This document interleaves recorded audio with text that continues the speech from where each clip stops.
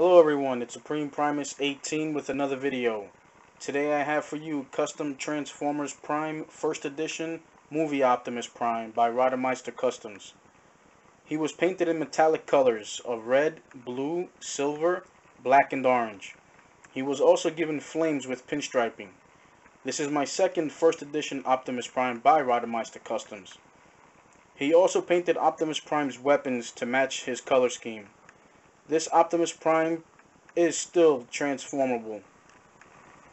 Now that he is transformed in his alt mode, you can now see his flames better.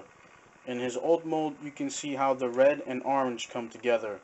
His tires are painted black with the rims and smokestacks in silver.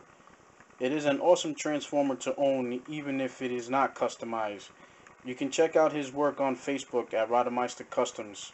Again, this is Custom Transformers Prime First Edition Movie Optimus Prime by Rodimeister Customs. I am Supreme Primus 18, and I am out.